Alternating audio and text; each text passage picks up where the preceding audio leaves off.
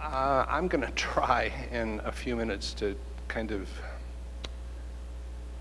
I don't know, eliminate or explain the, uh, the alphabet soup that is the designation of Porsche cars since the beginning.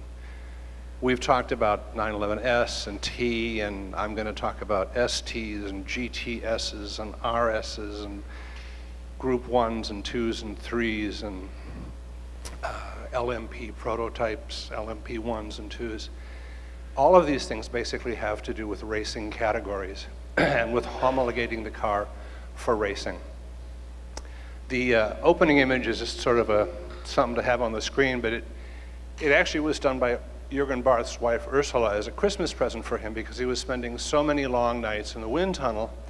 She knew he was sleeping on the floor, and so she created for him a little 930 turbo pillow. This is one of the oldest 911 race cars still going. It's actually a 901, and it raced in 1964 in Germany. This was at Rennsport uh, this last session. Porsche's first official racing efforts were in a car they called, referred to as the 911 MC from Monte Carlo Rally. And the guy on the left is Peter Falk. That's Herbert Linge. Falk was a director of competition. Linge was a test driver, uh, racing mechanic, and became a really, really fine race driver. That's basically a prototype 911S in 19, January 1965. The other thing that Porsche really pushed, because Ferry Porsche believed in the, the public relations value of racing, was these hill climbs. They were short bursts. This is Eberhard Mahle doing the Schauens, hill climb, which was all of about four miles long, but it was up a road that steep, but it got lots of newspaper coverage. And so if Porsche won it, Porsche is a company that has experience with that old statement, race wins on Sunday, bring sales on Monday.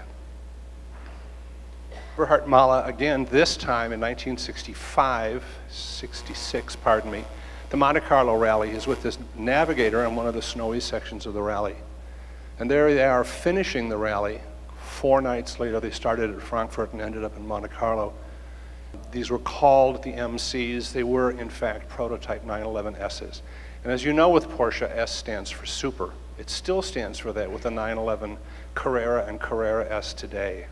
In 1965, Vic Elford, rally driver, wonderful character, approached Huschke von Hanstein and said, Huschke, I'd like to drive a rally car for you.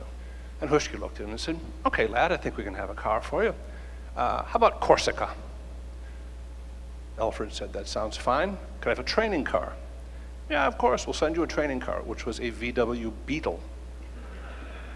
So uh, Vic and David Stone, his navigator, went to Corsica, drove the Beetle around, and three days before the rally began, Huschke arrived with the Volkswagen Transporter towing this car on an open trailer.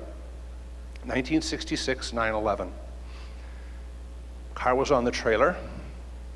Elford got there and said, ah, great, Huschke car looks fine. Opened the doors of the transporter and it was filled with wheels and tires. Elford said, well, gosh, Huschke, that's great, but what about the spares? Oh, Vic, young man, you don't understand. Porsches don't break. We don't need spares. Uh, Vic was a little dodgy because he'd just come from two seasons driving Fords that never didn't break. Uh, that car didn't break. Elford basically had his first class victory in a rally in that car, Corsica 1966. Uh, an American racer called uh, Bruce Jennings became one of the first to get an S in the US. This was, this was his car. Um, he won East Coast championships in this car, and then went on to do ever and ever and ever greater things in an official 911S. This is the official 911R. We've talked about the Rs today. The R is kind of this mythical beast within Porsche history. It was the, the brainchild of a guy called Ferdinand Piëch, whose name you probably recognize with all the recent Volkswagen excitement. Uh, but Piëch is a brilliant engineer, and his idea with this car was to see how strong you could make a car, how light you could make a 911, how durable you could make a 911. So this is the car at a maniacal event called the Marathon de la Route. It makes the 24 hours of Le Mans seem like a warm-up session. This race begins in Liège, Belgium. They drive to the Nürburgring. They run, 20, they run four days, 84 hours, three and a half days, 84 hours on the Nürburgring, and then they drive back to Liège. The rules are so arcane mechanics at the track gas pumps are the only ones who can fill the tanks. Mechanics in the pits are the only ones who can change tires, but the drivers are the ones who have to do repairs. So if something on the cars break, they try to get themselves back to the pits, but to stay on the outside of the pits because timeout happens when you refuel and timeout happens when you get new tires. But if you have to make a repair in the pits, that's time that's taken from your total. So this is Jochen Neerpasch getting fuel, 1967 911R, with the Sportomatic transmission. Porsche was trying to promote the Sporto for sales in, Euro. Vic, in Europe. Vic Elford was the co-driver. He loved the Sporto so much that when he had a chance to order his, his company car, his 911 for 1968 season, he insisted on getting a Sporto. Uh, this is the, you saw this earlier in Tony's slideshow. This is 911R number 001. This is at Monza, and it was basically one of the only events that was even longer and more brutal than the Marathon de la Route. In October of 67, four Swiss drivers, Rico Steinemann, Dieter Spoerry, Charles Vögele, and of course Jo Siffert, decided to see if they could set a series of European and world speed records on the closed bank circuit at Monza. Two and a half mile lap. Um, they used the 906 Longtail that belonged to Steinemann and Spoerry. But the car broke. The, bond, the banking was so severe and so severely eroded that it just broke the chassis. It stuck the outside rear shock absorber through the body. They had sanctioned this whole thing through the FIA, so the FIA sent inspectors and timing people and course judges and all of this stuff. And the rules allowed them 24 hours to restart. Steinemann had a very good reputation and uh, rapport with the factory, and he called the factory and he said, help. Well, while the factory loved hill climbs and, of course, endurance races, it really didn't have much, much truck with, with time trials because nobody read about them, there were no spectators, and it didn't really, they didn't really think it did much for the company. So Ferdinand Piëch said, oh, I don't care, just send them three R's. So they took the first three R's, 01, 02, and 03, and they dedicated them to the project. Number one was the car they specially prepared. They pulled in a new engine, what they thought was a new engine off the shelf, installed it. They took a whole bunch of spares from the shelves, jammed them into car number two and car number three, and those two set off like bandits to get to Monza so that they could literally take apart the rest of the second car for spares because those rules also required the driver had to do repairs with parts in the car, carried in the car during the timing event. So it's now Paul Hensler and Peter Falk driving the car to Monza 001. Hensler was the head of engine production. He was the one who specified the engine they put in the car. And as they're driving out of the, the Zuffenhausen gates, Hensler's looking at the records and he sort of turns to Paul and he says, um, Paul, I think we might have a problem. It seems that the engine we just installed wasn't rebuilt. In fact, it just finished a 100 hour bench test. And they took it apart to test it and to measure it. And then they just reassembled it. They didn't rebuild it. It's not new parts. And Falk said, Well, I hope we get to Monza. They got to Monza. They loaded the car with all the spares they thought it might need. The thing ran 96 hours without a hitch. And in the process, they set 17 world records, 16 of them for time and distance. And the 17th world record was for the number of tires consumed by a single car in four days 128 Firestone tires. The Monza banking was brutal. But for years, the only photographs we had of this car were black and whites. And can you tell me what color those stripes are? because the car's sponsor was British Petroleum, everybody presumed, well, you know, BP green, so the stripes have to be green. Tony and uh, Tom got the car in. We're beginning to do a, a, a, number of things of service and restoration to the car. And I kind of got obsessed by the story when I met uh, Steinemann and Spoerry. So I'd been following it and following it and following it, and I'd ask Jens Torner, who's the photo archivist at, at Porsche, does anybody really know what color it is? I was there for four weeks on a, on a research and interview trip. And the third from last day, Jens Torner chases me down in archives and says, Randy, you've got to come see. You've got to come see. I have Peter Falk's photographs. Falk had just retired in the week that I was there, and he turned over all of his files and all of his photographs to archives. And in there was a book of his Kodachrome slides, which showed that the stripes were red, which makes sense when you consider that the national colors of Switzerland, the home of the drivers, is red and white. So Tony made some allusions to it earlier this morning. Because nobody could tell and everybody thought it was BP sponsorship colors, the car first appeared out of restoration with green longitudinal stripes. And then when it showed up again anew in red, let's just say there was some vocal dispute that finally got silenced by showing prints from Falk's slides. That's the role of a historian. It's the role of anybody who does anything that, that, that deals with history is you just keep digging and digging and digging and digging and digging and digging and digging. And every once in a while you hit pay dirt. Falk's color slides solved so many riddles.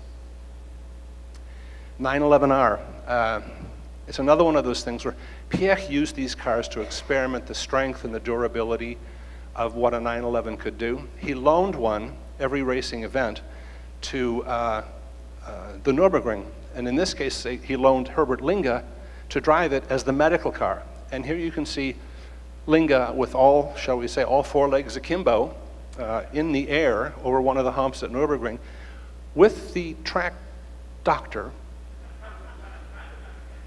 uh, as a passenger. Uh, this is Bruce Jennings' first 911S race car. Again, it showed up at Rennsport.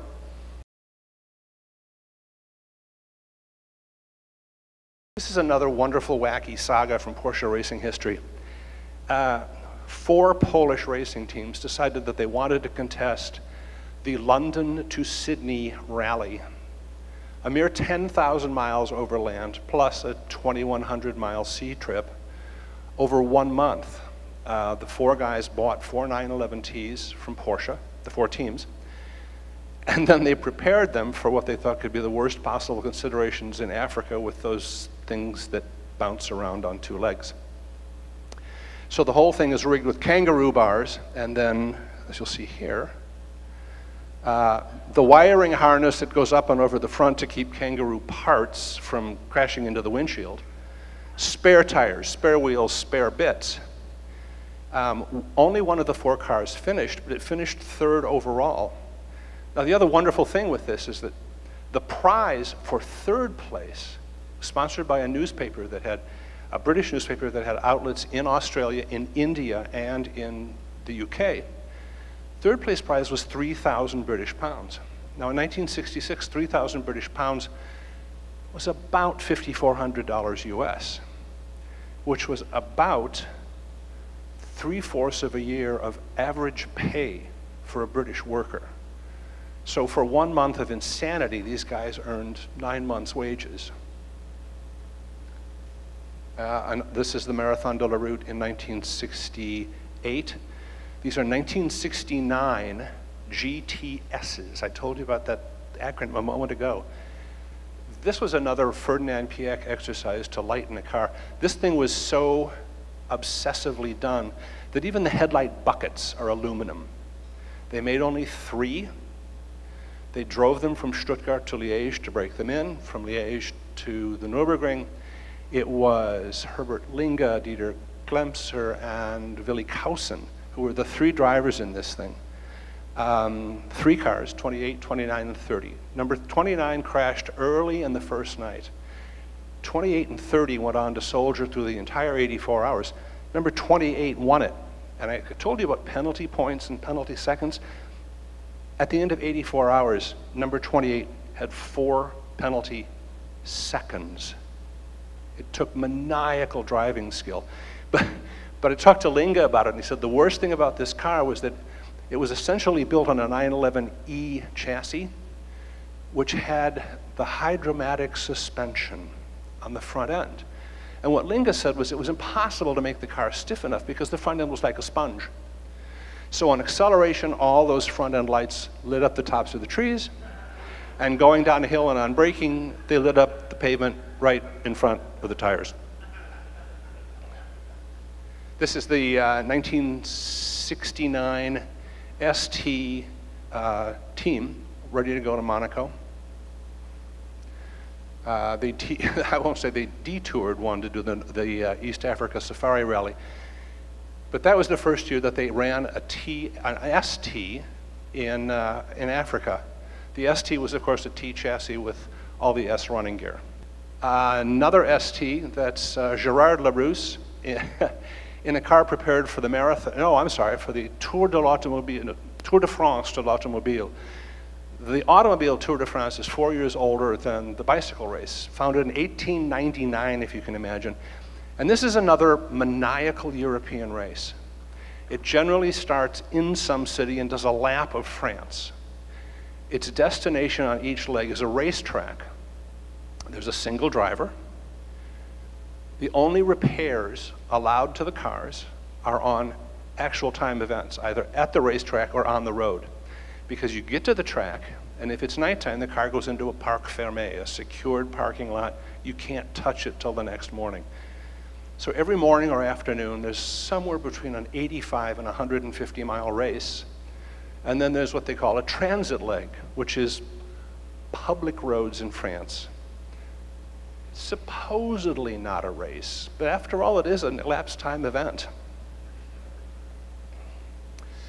1969 uh, ST prototype going ready to go to Monaco for the first event of the year.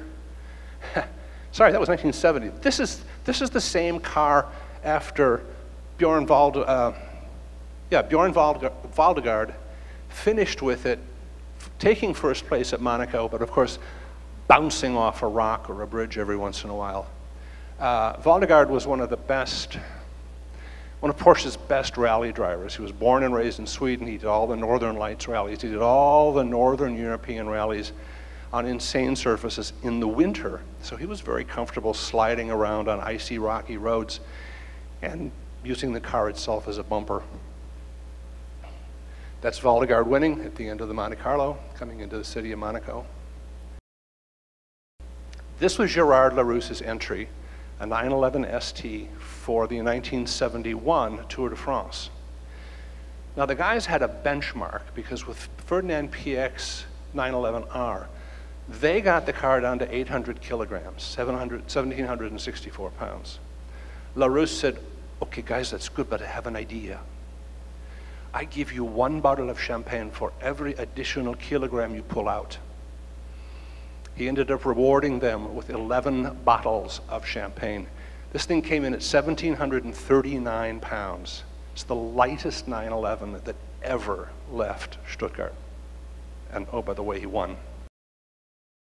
That's Peter Gregg's first 911 race car. It's his very first venture with the Brumos blue and red color scheme. And his sponsor at the time was Garrard, who was a friend of his who made hi-fi turntables. East Africa Safari car, another 911 ST. Tony has mentioned that you should never believe the sponsorship stickers on the side of the car. And sometimes you should never believe what your eyes tell you because, yes, those are white wall tires. And that's how the car raced. This was the East Africa Safari under for 1972. It had typical sponsorship. It had Shell, it had Trico Wiper Blades, it had a couple of other sponsors. The sponsor whose name didn't appear on the side of the car was Sears Roebuck, who had taken on worldwide marketing of Michelin all-weather radial tires available in white walls and black walls. So when the cars set off to Nairobi, capital of Kenya, for the start, of course, they put real serious mud and snow tires on them. And when they ran, they ran white walls. Sobiesław Zasada, I can almost never remember that name. He was the Polish guy who was the, was the one Polish team that finished the London to Sydney race. Drove this car to second overall in the East Africa Safari on white walls. The beginning of a whole new era with this car. This is the, the 73 model year, uh, Carrera 27 RS. They resurrected the name Carrera, as you know, from the 1950s, 356s, and really took it from the Carrera Panamericana, the race that Porsche entered and then successfully campaigned in 53, 54, and 55. I just recently found out that it was Harm Lagaay who created the Carrera logo on the side of the car. It was his very first assignment as a designer straight out of Design University at Porsche. And they said, you, you young boy, you have good script. Write something graphic on the side of the car for the name. So as they were developing the cars, they created both the RS, which is the one in back, the street version, and the RS28, which RSR28, pardon me, which was the competition version. You can sort of see a little bit of difference in the wheel flares and the depth of the rear wheels. It's kind of hard to see with that back one. A little better version to show you the difference in, in car width and certainly in front end because the RSR had an oil cooler up front. There's Jurgen Barth driving the photo prototype with the earlier script pattern. And then that's how it appeared at the Frankfurt Auto Show in 72. And that's Jurgen driving the same sport proto uh, that he took to Le Mans in 73. That's him driving his 1973 Le Mans car at Rennsport a year ago. 1973 RS, again going to Africa, we were sitting talking to a guy called Tilman Brodbeck, who was by that time the head of the exclusive department at Porsche. And I did my sort of, not death ray stare, but my kind of, I have no brain left compliance stare. And he said, Do you know I invented the, the, the Bürzel? And I was with a guy called Michael Bauman, who was the head of Porsche press, Porsche marketing, Porsche news information service. And I turned to Michael and I said, did you know that?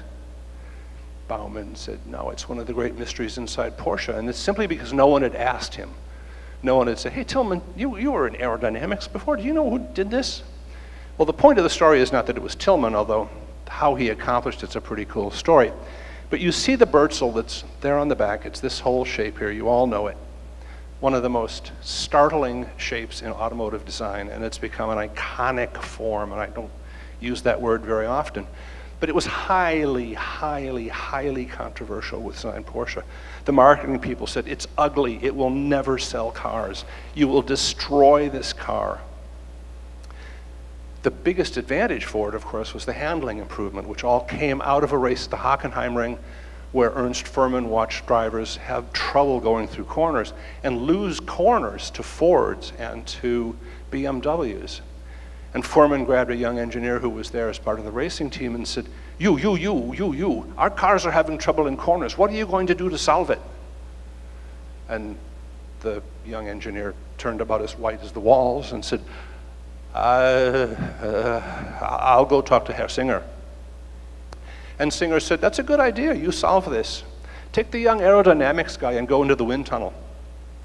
They were tired. They were lying on the floor trying to figure out what they could do at the bottom of the car to help. And Brodbeck started moving his finger across the lower part of the valence, from right below the bumper all the way down. When he got to the bottom, the oil wand, the, the, the, the smoke wand, the, the, aerodyn- the uh, wind tunnel assistant aimed the smoke wand at Brodbeck's finger, and instead of the air going under the car, it immediately shot to the side. And they looked at each other and said, Eureka, or whatever the German equivalent is of, oh my God, we found it. they found a piece of rope in the wind tunnel, and they taped it to the bottom of the valence. And it immediately shifted all the air around the car and kept all the air from going underneath it. After only three days in the wind tunnel, they solved the front end lift. Went back in to solve the second problem, which was okay, the air comes over the top of the car, and all of the designers and, and modelers working for, for FA Porsche, for Butzi at the time, they didn't really know enough about aerodynamics to really be concerned about laminar airflow or separation airflow, what happens at the back of the car.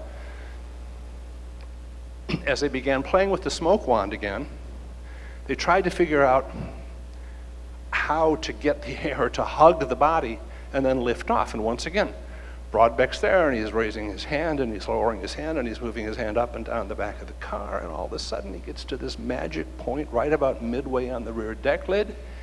And you can watch the wand, the smoke wand, start to hug the car, hit his hand, and rocket off into space. So they did a number of tests over the next couple of days to develop the shape of the Bürzel and the height of the Bürzel, and they came up with something that was almost 10 inches tall. the way Porsche was set up at the time was anything that was going into production had to go to everybody's special, everybody's favorite beauty stylists, uh, hairdressers in the beauty salon with Tony Lapine. So they sent it to Lapine, asked him to make it production ready. And when the thing came out and debuted for the supervisors, uh, board of supervisors meeting, it was the current height, which was about this instead of about that. And Peter Falk had been part of the final testing on it and the final development of, of, of uh, dimensions. And he looked at the thing and he said, Herr Lapine, what happened to the Bürzel? Oh, it was too tall, it was ugly, we cut it down. So the shape that's there and the shape that ended up all on all of them was cut in half by the, uh, the styling department. Of course, they got it back when they went racing. They put the original height on, but then Norbert Singer had this idea about trying to wrap the spoiler all the way around the back end of the car. This car earned the nickname of the Mary Stuart collar because of the high neck collars that Mary Stuart, Queen of England, wore. And there's Mary Stuart jumping. Production Carrera 3.0. Racing Carrera 3.0. Prototype Porsche Turbo 2.1. Ernst Fuhrmann was an engine man, and he believed that engines should do all the work of the car, and that you don't need wide wheels or wide bodies or wings or anything because all of that stuff makes the car so wide and slows it down. Singer kept arguing with him. No, no, you don't understand, Professor Fuhrmann. We can go faster around the corners and we make up the speed we lose on the straightaway. Fuhrmann said, But does that wing have to be so big? I hate that big wing. I tell you what, you can do it, but you paint it black so no one will see it. That's our friend Pete Stout uh, driving one of his friends' RSR at uh, Rennsport five years ago. Uh, that's our friend Mark Donohue, the late, driving one of the IROC uh, Carreras. Uh, the IROC was a series of races that began in 1974 using RS Carreras, it was a sort of a stacked race in that uh, it was Roger Penske's innovation with the fellow who headed uh, Mosport Track. They were road racers, so they invited four road racers, four NASCAR drivers, and four IndyCar drivers to race this four race series in Porsche 911s. You can imagine how comfortable the NASCAR and IndyCar drivers were in Porsches. So at the end of the season, it was the four sports car drivers who went, finished first, second, and third. That guy was, of course, first. From that year on, for the next 15 years, they raced Camaros. Uh, two really great competitor brothers in sports car racing in Germany, Manfred and Erwin Kremer, were the first to buy RSRs for racing. These were their first two cars, um, racing again at Rennsport about five years ago. The 934. The 934 was the first racing version of the 930 Turbo. Uh, it because of the way homologation rules worked for turbochargers, the FIA decided that the power output effect of a turbocharger was 1.4 times what it would be if it were a normally aspirated engine. They then set weight limitations and other dimensional limitations on the cars based on all this formula of displacement times turbo, you know, multiplied by the price of apples in Luxembourg. And these cars ended up with the equivalent of a four and a half liter engine, so large a displacement that their racing weight had to be 2,800 pounds, which was so much heavier than the car could be that these things actually raced with electric windows. They gutted the cars, they pulled everything out of it that they could, and they ended up 150 pounds light. So that gave Norbert Singer the opportunity to put, basically to put weight in the car where he wanted it. And one of the easiest things to do is, well, you know, window regulators break. We stick with the electrics. It's about the same weight. They didn't run with air conditioning, though. That's the 930 Turbo at the Frankfurt Auto Show in September of 73. I was, I was, prototype 935. Fuhrmann hadn't seen it yet.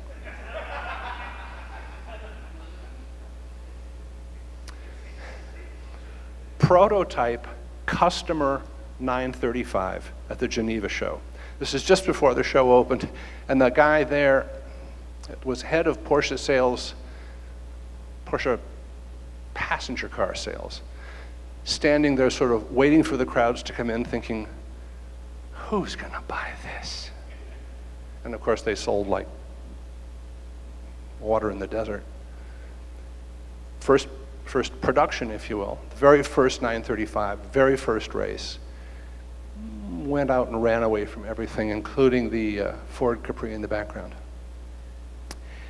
Another wonderful little story about Porsche and the 935 the 935s had to go through the same multiplier rule. So it was a 2.8 liter engine multiplied out to four liters for the classification for group five. They, they were the only ones who were ready for group five in 1975. In 1976, they were still about the only ones ready. But by then, the, the 935s had won so many races that the media and race organizers and race fans were saying, oh, these races are boring. And because they had no small car, they weren't running in the, the basically what would be now the GTU class, the under two liter class, which was still vigorously contested by BMW and Ford and a few other car makers. When Ernst Fuhrmann found out that German television was not going to, to broadcast the Group 5 race at Hawken, at Hawken, no, I'm sorry, at Norisring, but was going to broadcast the smaller engine displacement race, he, thought, he said to his engineers, we cannot let this happen. They think we are chickens to run in the smaller class. We must build a car. The engineers said, sir, we're so busy. We can't really have the time. And he says, you do it. So Norbert and his, uh, his colleagues created this car that earned the name Baby because this is about an 8 tenths scale 935. Uh, 1.4 liter engine with which turbos brings it to something like 1998 cc's, so it fit precisely in the rules. with only 1.4 turbocharged liters, it produced a mere 370 horsepower in a car that they lightened to 1,430 pounds. But of course, they did this in only 40 days, so they didn't really have any time to test it. The run at uh, Norisring, the gearing was wrong, the brakes weren't dialed in right. Jackie Ickx had a terrible time, finished seventh overall, and everybody said, neener, neener, neener, you can't do small cars. So back to Weissach, they worked hard. When they showed up two weeks later at Hockenheim Ring, they had everything dialed in. It was an 85 mile race. Ickx finished three minutes ahead of second place. And Ernst Fuhrmann said, okay, we do this, it's good, put it in the museum, we don't race it again.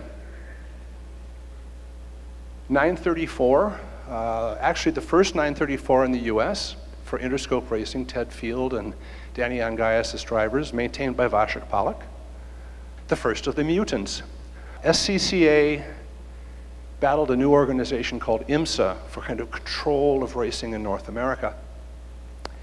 Um, one group would allow 934s, one group would not allow 935s, but if you kind of read the rules carefully, they led to this car, which was a 934 front end and a 935 back end. A car that earned the title of either the 934.5 or the 934 and a half. Uh, these things raced very aggressively in one series but not the other, and I'm sorry I still can't get straight which was which. Full 935, one of the first and wildest of the Kremer 935s. Uh, the Kremer brothers, as I said, Manfred and Erwin, uh, were very, very creative, very long time Porsche dealers and Porsche racers with uh, a, a, partnership with another guy in Mannheim called uh, Eckhard Zimmermann, who was an aerodynamicist and a body stylist and designer. And what I love about the Zimmermann cars, the, the K, what they call the Kremer K series race cars, are these hard edges that really use, the Kremers used to great advantage to contain the airflow over the car. So that's a 935 K3. There's a 935 K3 jumping. I love the jumping pictures. So as you can see, all that airflow management just had no effect at all on keeping the car on the ground. 930 testing at Hockenheimring with the new, this is 78, so it's the new T-tray rear wing. Oh, in fact, there was a question yesterday about this. Where did the name Whale Tail came from? The name Whale Tail was a US marketing innovation the Germans actually referred to that flat rear wing as the antlers. Full 935. My favorite 935. Uh, this was Norbert Singer's sort of thumb in the eye of the FIA inspectors. And I know that this is one of the cars Tony wanted me to talk about because if you see the, the side door on this car, this big wide surface here and this enormous NACA duct here, the rules for 1978 and 935, well, in Group 5, were really wide open. Just about anything was possible. There were no restrictions on the width of the car. There were no restrictions on the height of the front fenders. There were no restrictions on pretty much anything. There was one rule that they were adamant about. The car had to have the original roof and the original back window. So we'll get to that in a moment. So Singer read the rules. Oh, the other one was that because all of the other competitors had front engines and exhausts running under the car, they felt they had a ground clearance and aerodynamic disadvantage because Porsche with the rear engine could drop it lower. So the rules said, okay, if you have a front engine car or you have any car that's going to race, you can drop the body down below the frame to enclose the exhaust. Singer looked at that and said, we can do that. So that thing has got about two inches, I think you'll see it better here, about no ground clearance. And you can see that's a group of students, so you can see that it's sort of the Porsche 935-40. It was about, about a meter tall. When the car raced, uh, when it went through scrutineering, uh, pre-scrutineering. Paul Frère, who was a great friend of Porsche and wrote a number of books about them, was one of the judges who came and said, no, no, no, no, Norbert, you can't do this. Well, we can. Well, but it's not allowed. No, Paul, it's not disallowed. And so finally, to, to just for Frère and his two other judges to sort of not totally lose face, Singer said, okay, okay, we cut the doors open. So that's why you see these are cut back. What Frère objected to was just the fact that the car was just, as I said, just a total thumb in the eye of the FIA regulators. So the car ran in this livery. Uh, it ran, I think it, well, the, there was a race in the UK about six weeks before uh, Le Mans, and it just scourged everybody. It was second overall, but it had hit the highest top speeds any car had ever done. Came back to the factory, they reworked a few things and sent it to Le Mans. It led the race for seven hours. It was hitting speeds of 238 miles an hour on Mulsanne in 1978. And it was only because on one of the pit stops, when Ickx pulled in, they thought they noticed an oil leak under the rear case. And so they basically said, okay, Ickx, just a little bit slower. So he slowed it down and he finished seventh overall. Got back and discovered it was a fluke. It was actually an oil splash from something totally unrelated to the engine. They could have gone like the hounds of hell were chasing them for all 24 hours. You saw the photograph a second ago of the car all in white with the white doors. They took that car in that condition to Paul Ricard for testing. When the thing came out of the transporter, it was an open testing day, so there were journalists there from many newspapers and many magazines.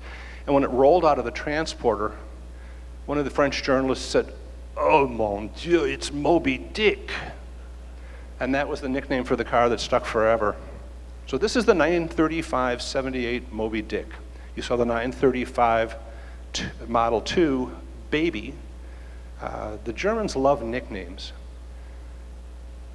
1978 uh, Africa Safari 911 SC, full on 935. Bruce Meyer's car, 1979 935 Kremer K3. This is the first production derived car that won Le Mans since 19 since World War II, right? And possibly before that. Um, but because it was based on a 911, they called it a production car. And this thing again, private owners ran like a top for all 24 hours. That car now belongs to a wonderful collector in Los Angeles, Bruce Meyer. Uh, in the US, there were IMSA GTU cars, meaning under two and a half liters, and GTO cars, meaning over two and a half liters displacement. Slightly different bodies. This is the GTO car, sort of seen from the front. You can look at these weird fenders. Okay, again, we have now the perfect aerodynamic exercise. There's the, the perfect Kremer car with the edge rails. Reinhold Jost was another privateer, incredibly successful 911 and 935 racer. And his solution, so he didn't get patent infringement suits or whatever it might have been, was to run his rails, his strakes, as they call them, up the center of the car to channel the air really up and over the center and over the roof. 935 K4, this was, this was probably the orange Moby Dick because it was in Jagermeister colors. But um, this was the most bloated of the 935 race cars. 935 K3, uh, world champion car and Le Mans winner. This was the customer car, and this is Andil's customer car, in fact, 935 K3. this is the IMSA GTX slash GTP champion that um, John Paul Jr. and Sr. raced, father and son team. Uh, this car was based on a wrecked 912 platform and won Le Mans. Uh, this is Tony's favorite automobile of all, the beginning of the 959 saga. the concept of the 959 was to create a car, an all-wheel drive car that could do anything from drive you to the opera to drive you across the desert. So they called this thing Group B because that was the, that was the designation in racing which it fit. And I've talked to you about the FIA and the SCCA and IMSA with their GTUs and GTOs and RSs and RSRs. The FIA recalibrated everything for 1982, called it Group A, Group B, Group C.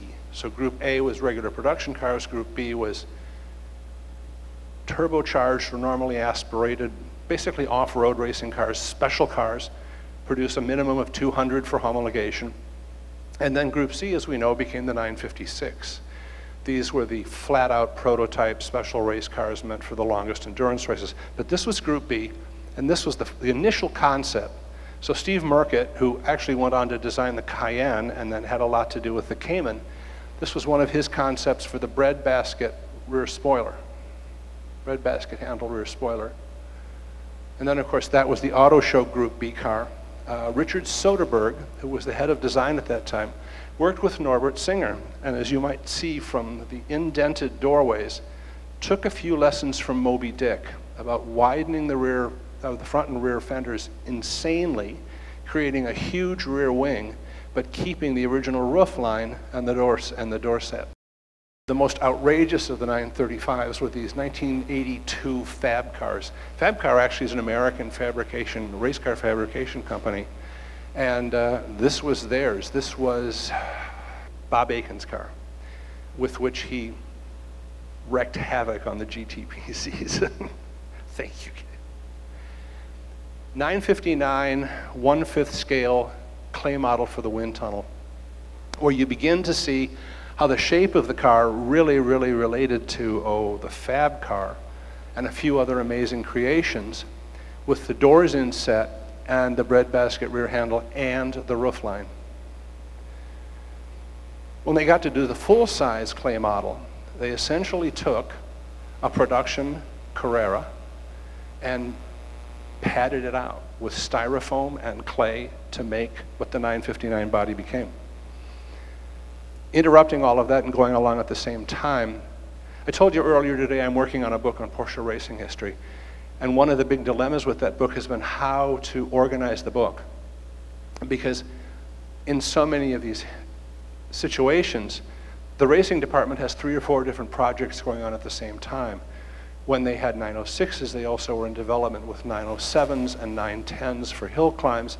And of course, they had the 911R, and they had the beginnings of the ST and all the rest. This thing, which was the last of the SC chassis, into a special car, the, the 911 SC production car, into a special car called the SCRS.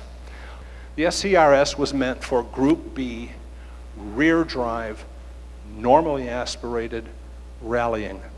Type 953, the prototype all-wheel drive 911 SC that became the 959 running gear, became known as the Type 953. This is it going up a hill, and that's it coming down a hill.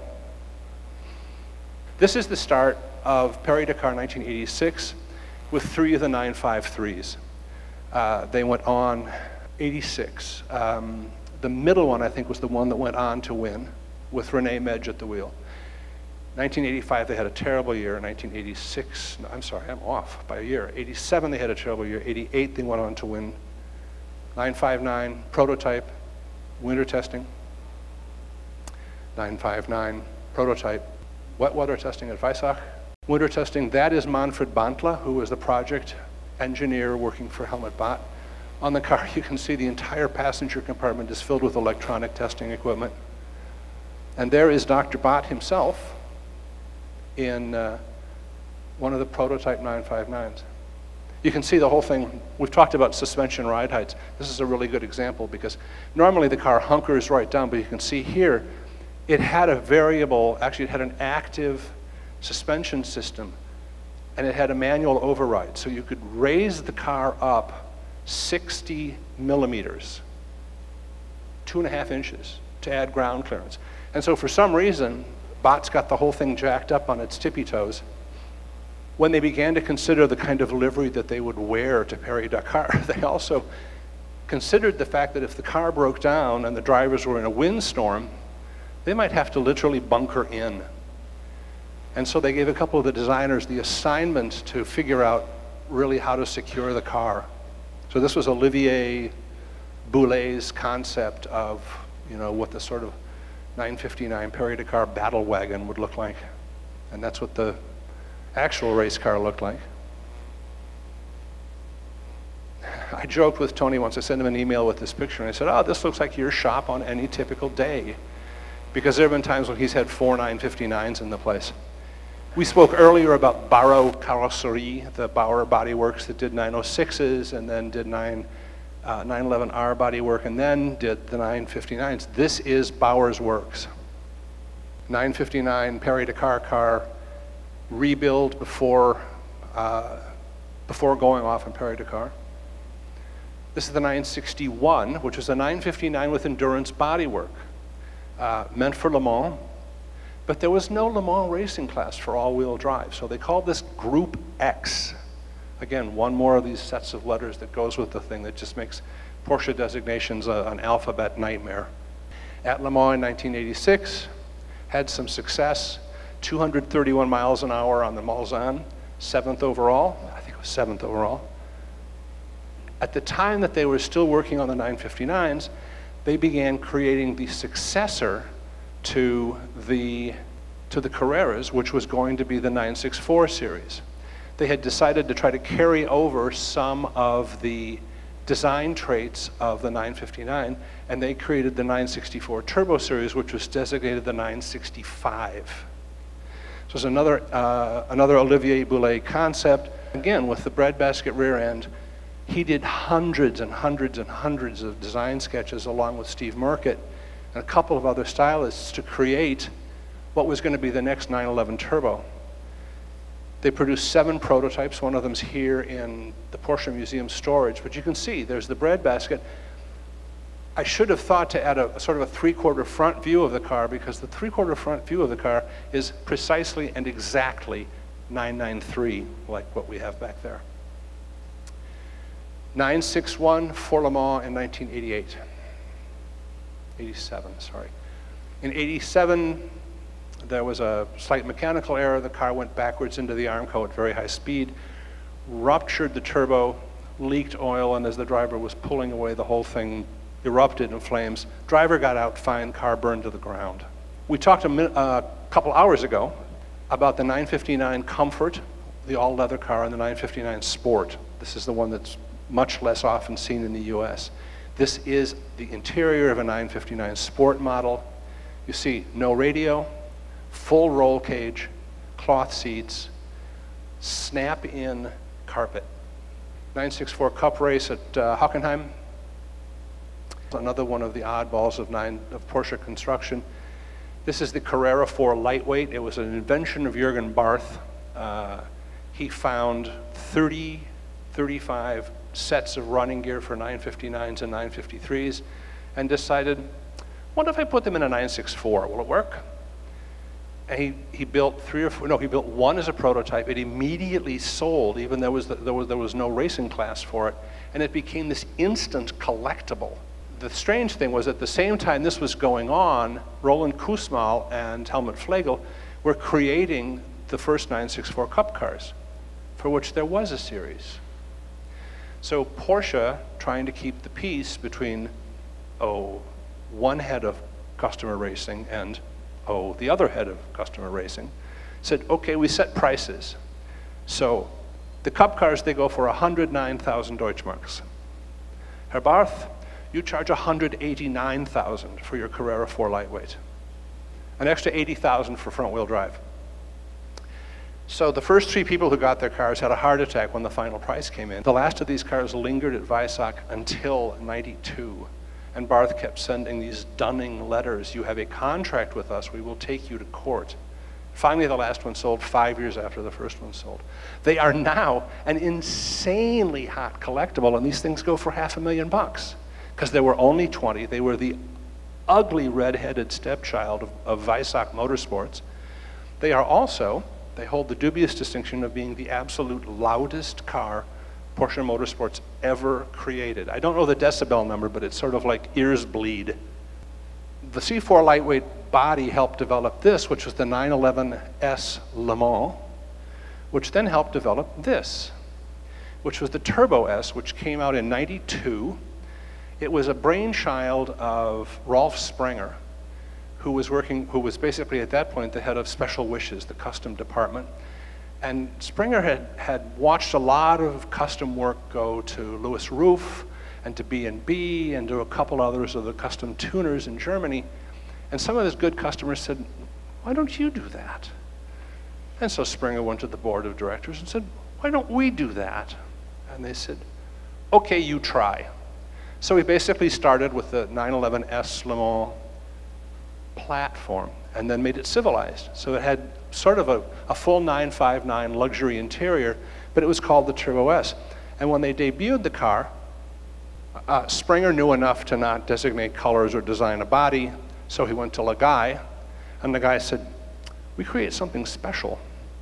And when the guy pulled the covers off the car, Sprenger said, Herr Lagaay, Ferrari fly yellow is not a Porsche color.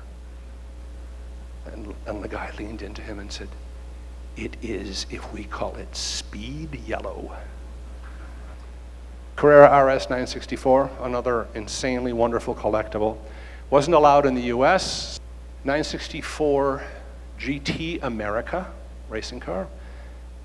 This is what followed the 911 uh, 964 RS. This is the RSA for RS America. It was one of the first times when Porsche produced a very special car for less than the regular car. They've never made that mistake since. This is a decontented car that actually sold for 5,000 less than the standard Carrera 2. The standard Carrera 2 had the articulated rear lifter. This was the whale tail. Well, this was the T-tray. This was 45,000. The standard Carrera 2 was 50,500.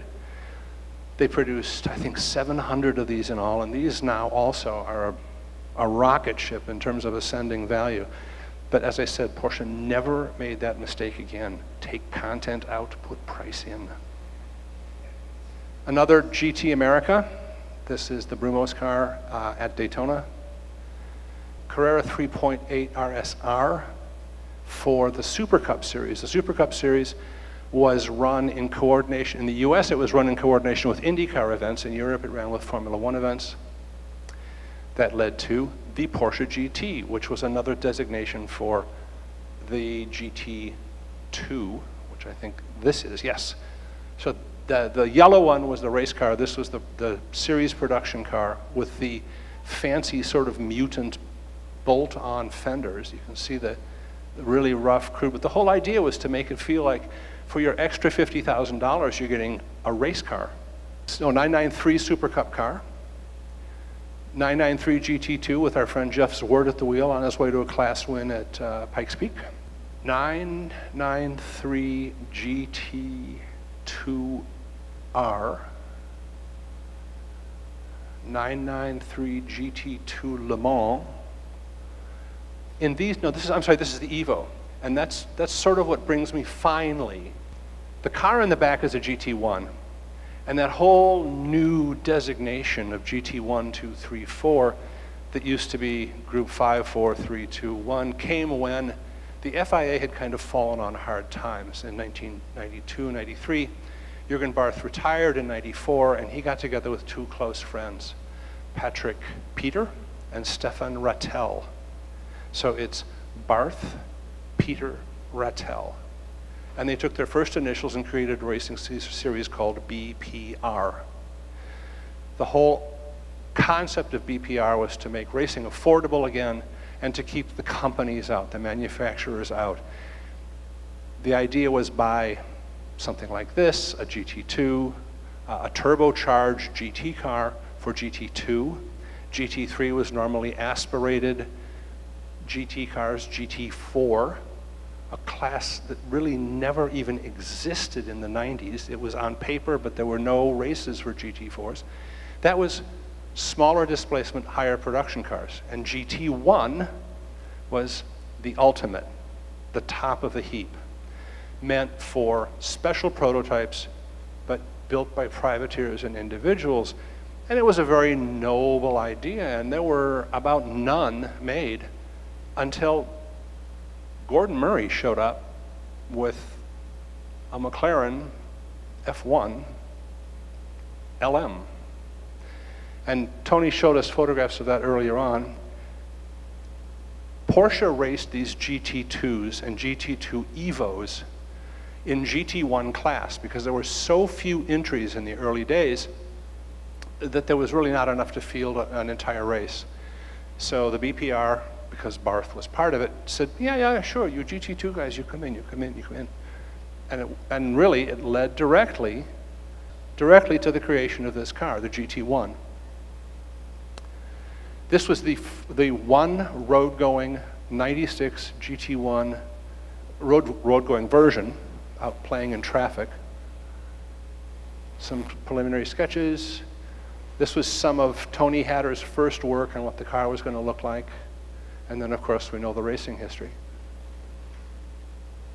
Into production, this is 96 production. Uh, I think I have 97 Series 2 production here. Uh, next one is 98 production, the final year, when, as Tony Hatter said, it looked nothing like a 911, but we put the headlights on. And there it is with the headlights, and oh, on, there it is winning at Le Mans. And uh, there this one is. So that's the all too long and entirely too complicated history of Porsche's alphabet soup.